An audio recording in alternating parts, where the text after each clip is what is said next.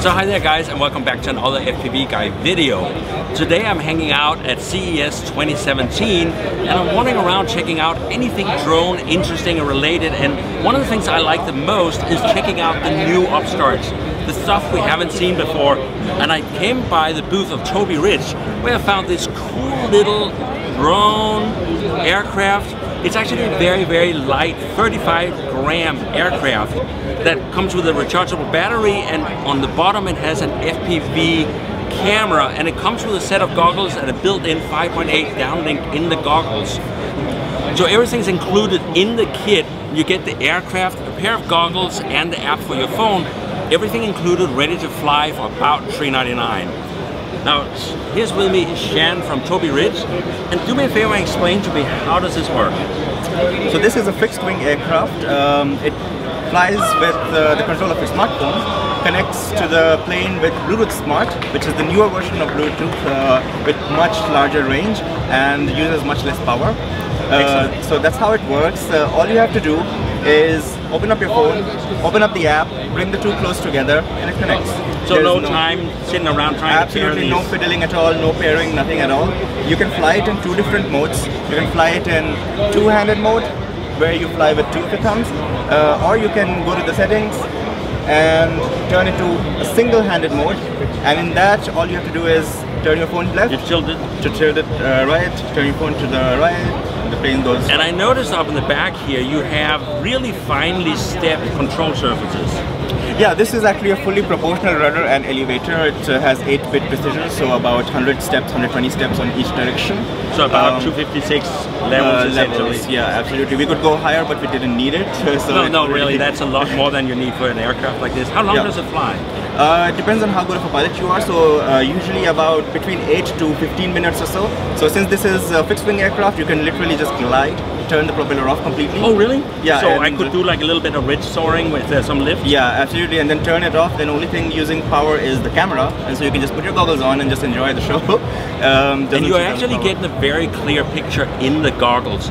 So th this is like flying FPV fixed wings, but an easy entry. If you've been already flying drones with multirotor and you want to play around with something with fixed wings, here's a complete kit that gets you into everything.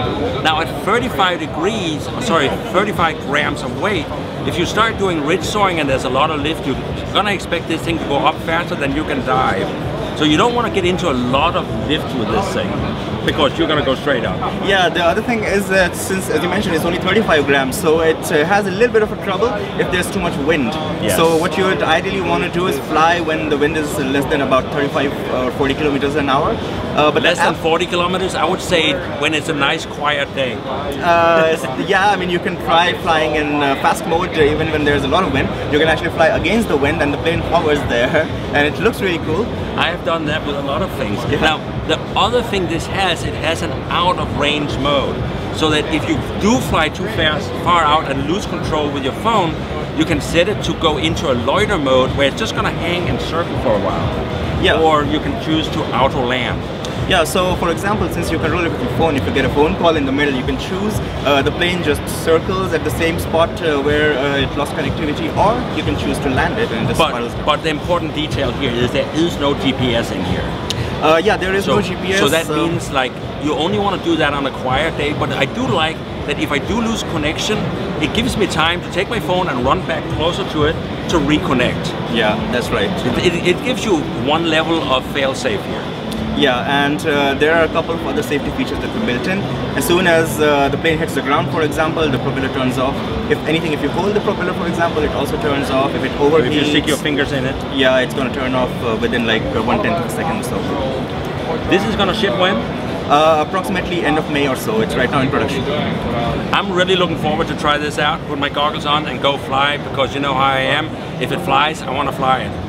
But this looks really cool. It's about $3.99 for the full kit with goggles, app, and the airplane. And I have a feeling this is not going to break apart a lot when you crash because there's really nothing here that's it's just lightweight foam.